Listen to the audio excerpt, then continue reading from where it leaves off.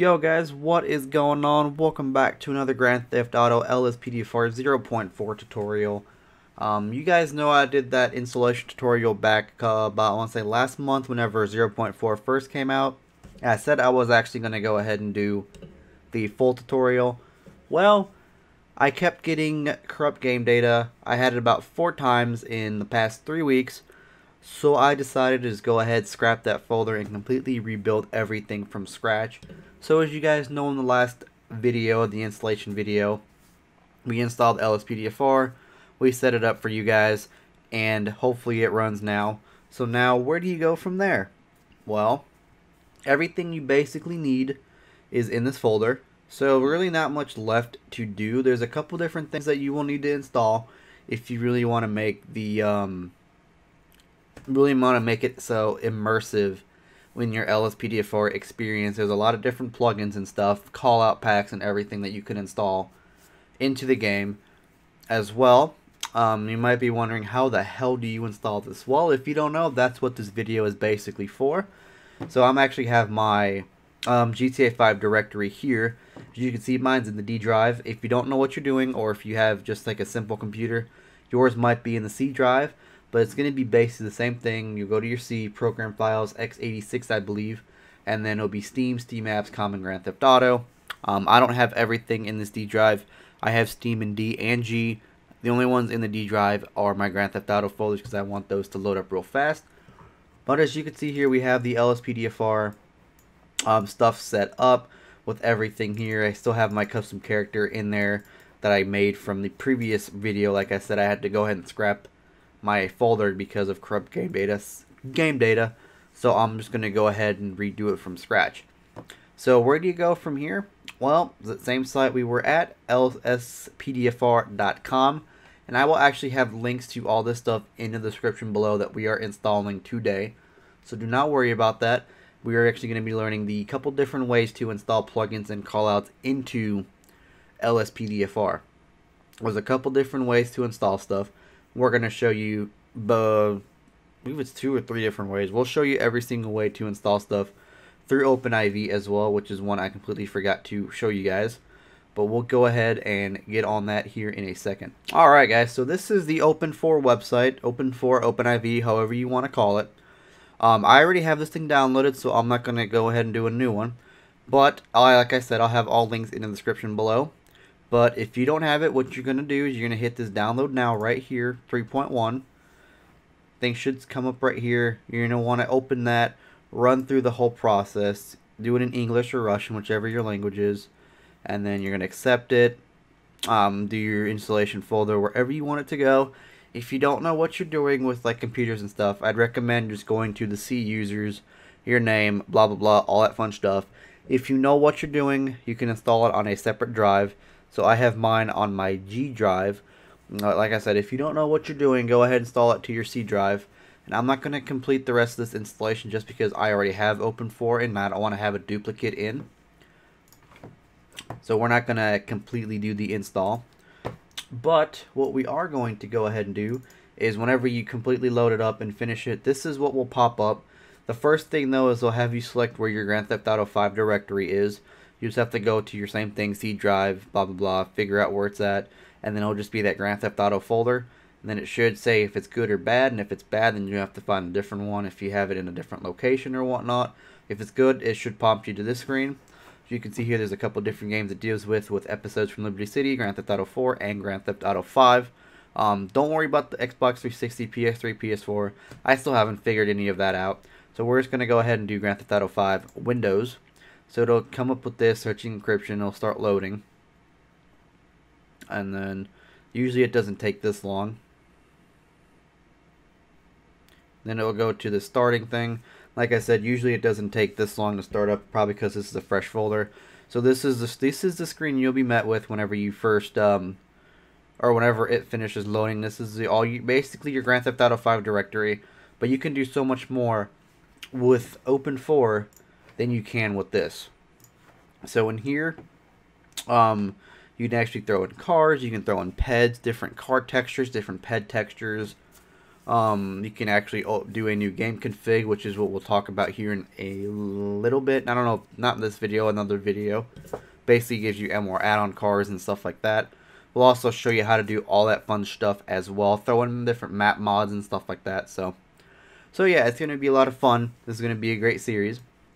Um, but first off, we don't actually need this at the moment. But we're just going to go ahead and keep it just in case. I'm actually going to go ahead and do this. Don't mind the thumbnails here. Was doing a different video, but we'll actually get you and you in here. And um, get this popped up my Streamlabs.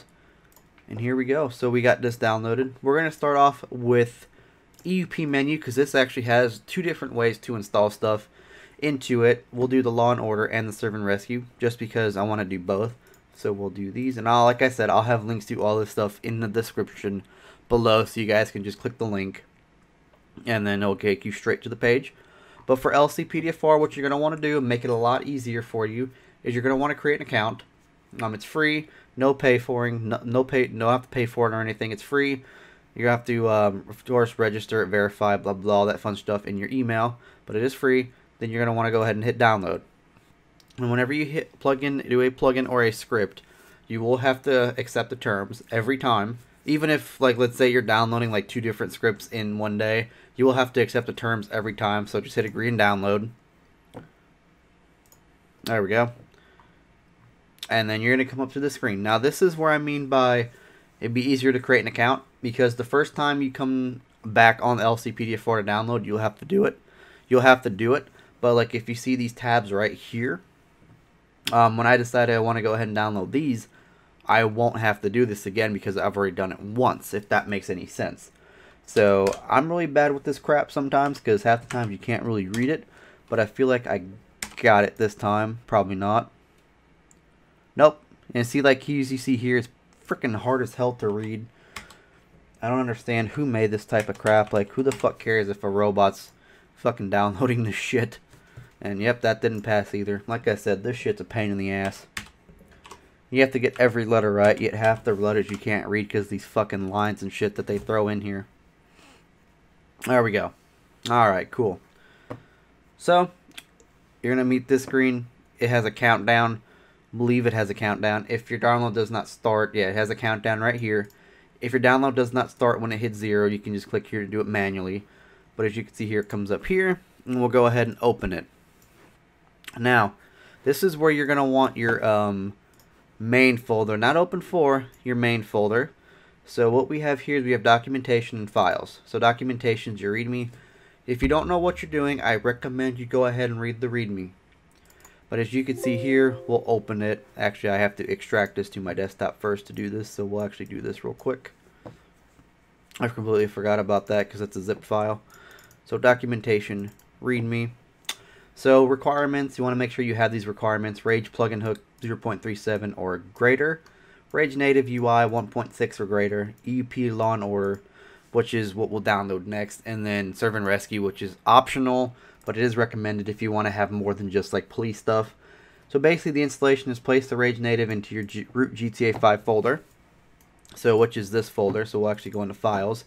Now what I normally do is I make this a lot easier for myself, but we'll actually just follow it from the tutorial right now. Make this easier on you guys. So we'll place the Rage Native UI DLL into the root folder, which is this folder. So what we do is just drag and drop. comes up right there. Extract the contents of the plugins folder. So basically, what I'd like to do normally, and makes it easier for me, it'd probably be a lot easier for you guys, is as you can see here, you can go plugins, EUP menu, and you click here plugins, and then you can drag EUP menu. But what I like to do whenever I do this kind of stuff, and I know it's just going to be a new update or whatever, I take both files into my main folder. If it's like this, if it's not like this where it says plugins, and it has just, let's say EUP menu was right here, there was no plugins. Of course, go to your plugins folder and then drop it in. But if it says plugins like this, you can easily select it, drag it over. Of course, yours won't say this. Mine does because I already have the files in there. We'll just replace it. Boom, and there we go. So that's one way of doing it. Um, you're gonna some plugins you will have some stuff that goes into your main folder as well. So like the Rage Native UI, um, Stealth Common, Albo 1124 common, stuff like that will go into your main folder. You will have stuff that goes in that goes into your plugins folder as well. And then there will be an LSPDFR folder sometimes or an LSPDFR folder that comes in through here as well once we start adding in more plugins. So some of the stuff will go in there, mostly callouts and like plugins that actually run on LSPDFR run in, in there. Whereas EUP menu can run with or without LSPDFR, so it'll go in your main plugins folder. So you can actually set this in Rage to load up on startup, or you can actually load it up yourself if you want to. It doesn't matter what you want to do. Um, but like I said, make sure we go ahead and read the readmes if you don't still don't know what you're doing or you don't feel comfortable um, doing this on your own. Make sure you read the readmes. Head back to our main folder here. We can actually X out of this, and we'll do Law and Order. So this is where the second way of putting in plugins comes in. This is not the most common way. This is more for like, um, let's say like Siren Wise, or if it's like a big, big like car pack. Like I know Walter's NYPD pack was an OIV file, so that's what this will be is an OIV file. Um, it'll make it a little bit easier for the download, or not for the download, to put it in your game because it'll take care of like all the metas and everything else that you guys don't want to mess with. And we'll kind of go through that and how to read vehicle metas and change it out, Carvar metas, and all that fun stuff as well here in another episode because I do plan on doing a lot of different tutorials for Grand Theft Auto whether it be LSPDFR, whether it be like regular GTA 5, it doesn't matter. We're going to do a bunch of different tutorials, and I'll have everything in its own playlist, so I'll have an LSPDF, or I'll probably just have like it in a GTA 5 mod tutorial, stuff like that, because this could be the same way for a lot of different mods and whatnot, so as you can see here, that's done downloading, so we'll X out of that. Um, probably want to RAR that, so that'll be out of WinRAR. And then as you see here, we do have the OIV and a plugins folder. Now, we can extract both of them. We'll close that out. And you go in the README. So install the OIV package. To do that, starts OpenIV under Tools, blah, blah, blah. I'll show you guys how to do that in a second. Search for EUP, and then we have to put the plugins folder in the directory ourselves. So this is what it was meaning by this. So once we get into Open4, this is a very, very key thing because if you don't do this step, you're not going to be able to do basically anything with Open4. Is make sure you go into edit mode. So while in edit mode, all changes are automatically saved. You want to continue? Yes. This is a main part of Open4 that I forget to do, and I've been doing this for like three years. Um, so when you open it up for the first time, this pop-up will appear for install plugins for GTA 5 ASI Manager. You're going to want to click on the ASI Manager. Um, and you're going to want to install all three of these. Now when you install the second one, it's going to ask you if you want to create a mods folder. You do, you do, you do, you do, and I cannot stress this enough, you do want to create a mods folder or else you will fuck up your entire game. Mods folder is one of the key crucial points of LSPDFR or modding anything Grand Theft Auto wise. So, if you're a beginner and you don't know what you're doing with uh, GTA 5 or anything, or if you even feel comfortable, go ahead and click allow edit mode only for archives inside mods folder. So what that basically does is like let's say you're trying to be in the main folder, you're not in your mods folder and you're trying to change something, it will not let you. It, once you go in the mods folder, it will let you. So go ahead and hit that and then open camera. You can install that too if you do Rockstar editor type stuff. If not, don't worry about open camera. I do some Rockstar editor stuff for my thumbnails. So I feel like I need open camera, but you do need the ASI loader and the open for ASI. Now, what it was telling us to do is we're going to go under Tools and then Package Installer. So what this does is this is like an automatic installer for Grand Theft Auto. So we're going to hit Package Installer. We're actually going to find our thing, which is right here. And don't mind that, I have a shit ton of games.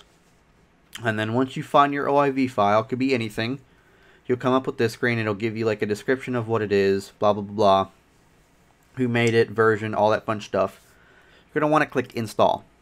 Now, like I said with the Crucial Mods folder, never, never, never, and I cannot stress this enough, do not install to your game folder. Always install to your mods folder. So it'll install it directly into your mods folder And then once we get in here, we'll take a look and see what it did. So as you can see here, it's installing right now. I'm going to wait and wait and wait for it to install. Now, before you go ahead and run Grand Theft Auto, do not hit it through there because you will not run it through Rage, so it'll not work. We're going to hit close. Now at this step, you can actually go do whatever you want. You can run the game, whatever. Make sure you run it through Rage though. But I'm going to go in the mods folder, update, update that RPF. Actually, I think it's x64. Nope, it was update that RPF, common data.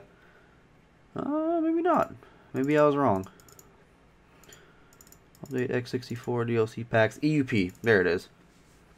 So, this is basically going to be like your EUP menu for um, your police departments and whatnot 8.0. Now, whenever they also said in the README that step 3 after installing, put the plugins folder in GTA 5 directory. So as you can see here, plugins, the only thing we have in the plugins is EUP menu and LSPDFR. Now this is what I was telling you guys about the whole drag and drop type thing. So here we go, drag and drop. Boom, we have EUP and preset outfits, which are going to be like your preset police outfits. That's what I really do enjoy about the whole drag and drop type thing. Um, I'm not going to go ahead and do the serve and rescue one just because you guys kind of got the gist of that. But I am going to go ahead and download it just for me so I can have it on my own. Um, now I'm actually going to go ahead and install something different for you guys. Um, it's going to be the same thing. It's a plugin, but it's going to go to a different directory, which is going to be one of the second and basically the main directory for anything LSPDFR related. As you can see here, we have Interaction Plus. So this is basically one of those like very, very crucial mods to have in your game. So you can have like field sobriety tests and like field test kits and stuff like that. So I feel like this adds a lot of realism to the game. So same thing we do, download, gonna have this terms, you gotta agree. And then you're gonna come up with this screen. Some of the, a lot of the plugins you will have, callouts, cars, etc. will have this screen come up. Now what you're going to be want to be looking for is the latest version. So you have 2.0.1, 2.1.0, and 2.2.4. Like I said, you want the latest version, so we'll do 2.2.4. And then I'm actually, for my own thing, for this own folder, since this is going to be turning into my actual folder, I'm going to drag this to my, I'm going to drag this to my desktop. Now, if you're running Google Chrome and you do have antivirus, Sometimes you will get this message, interaction was not commonly downloaded, may be dangerous. What you're going to want to do if you're on Google or on Google Chrome, hit the up arrow, hit keep. So we'll actually drag both of these to my desktop for right now. Um, don't need that readme. Drag both of these to my desktop, make it nice and pretty. Boom, Interaction Plus. I want all this stuff in here. Hopefully it comes in a straight line. There we go. Perfect. So we'll close out of that really quick. Then we're made here with this desktop. I'm actually going to move this stuff over there just so we get it out of the way. But let's go back to our README. Um, Interaction Plus 2.2.4. It does require Traffic Policer, which we don't actually have in just yet. And then Dark Darkmeyer Search Warrant or Stop the Ped, which we don't actually have in just yet, but we will here soon. Um, so basically everything goes into the plugins folder into your main GTA 5 directory. Now where this gets a little bit different than what the rest of them are, you will get a second Rage native UI. You don't have to throw that in. So this goes into your plugins folder as well. So this will just go straight into custom item XMLs for search warrant stop the ped. But as you can see here, this is different. So when you throw this into your plugins folder, and we'll get, we'll skip that because I don't need the preset. This actually, oh, so never mind. Never mind. This thing, uh, well, yeah. So this thing goes here, I believe, right? Plugins folder, pick an XML. Yeah. So this goes, creates a brand new folder called LSPDFR which is basically the only things that'll run when LSPDFR is running.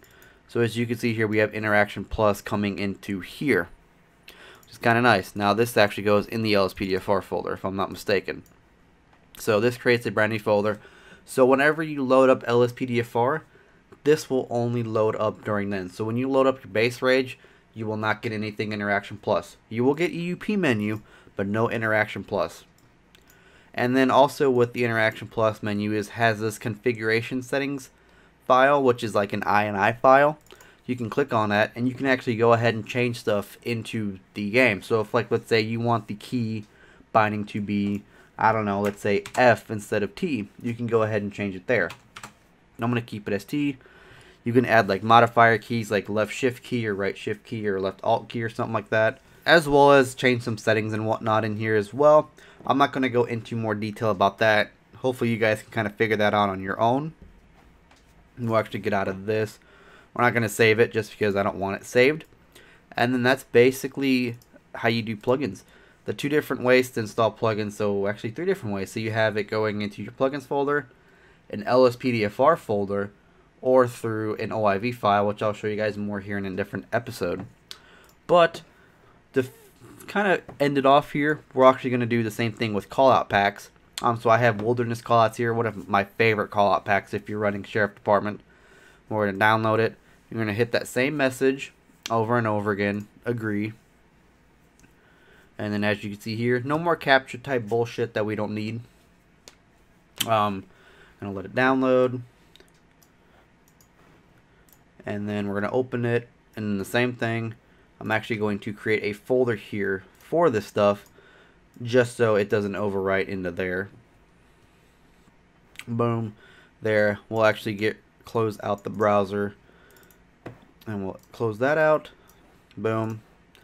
And see as you can see here with callouts it's a little bit different because you will have a LSPDFR folder which you have here which if you click on here, it'll use the audio scanner, and you'll throw in its own audio files for the callouts. So same thing, you have your Rage Native UI, your plugins.